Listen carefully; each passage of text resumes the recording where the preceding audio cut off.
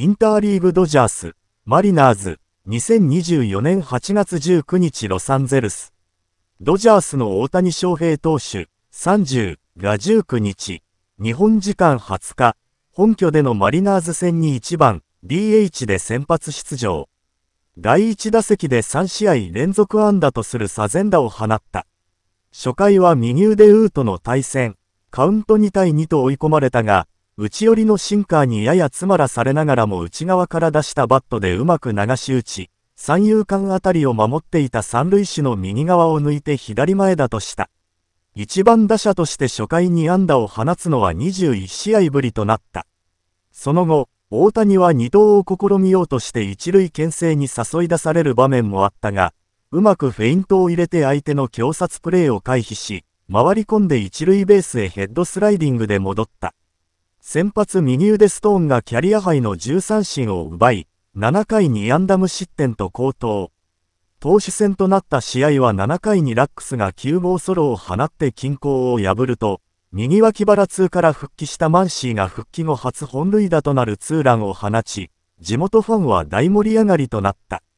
なおも西一塁で大谷に第4打席が回ると、カウント2月1日から一塁走者エドマンが2投に成功。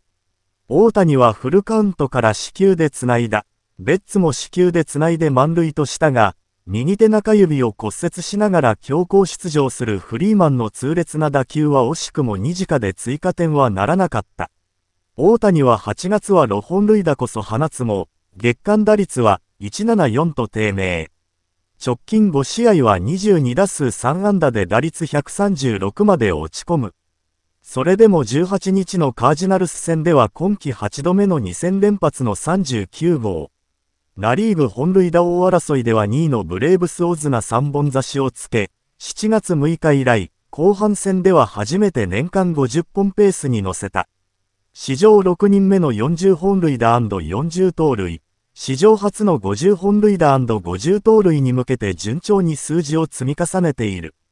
この日の試合からフリーマンと右脇腹痛で離脱していたマンシーが先発復帰。フリーマンは右手中指を骨折しながらの強行出場だが、打線の厚みが復活した。ドジャースは現在、ナリーグ西地区首位を走るが、好調の2位パドレスとは3ゲーム差、3位ダイヤモンドバックスとは4ゲーム差。首位争いは混戦模様となっているだけに負傷者の復帰はチームにとっては明るい材料だ。